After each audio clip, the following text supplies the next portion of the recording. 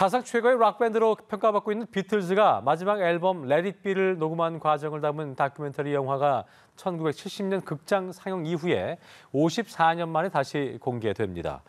월트 디즈니 컴퍼니는 마이클 린지 호그 감독이 연출한 다큐멘터리 Let It Be를 다음 달 8일부터 동영상 스트리밍 플랫폼 디즈니 플러스에서 독점 공개한다고 밝혔습니다.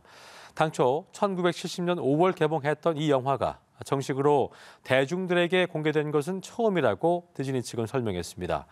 이 영화는 비틀즈 멤버 존 레넌과 폴 맥카트니, 조지 해리슨, 링고 스타가 1969년 1월 Let It Be 앨범 제작을 위해 함께 곡을 연습하고 녹음한 과정을 담은 것으로 이번에 더 좋은 화질로 복원됩니다.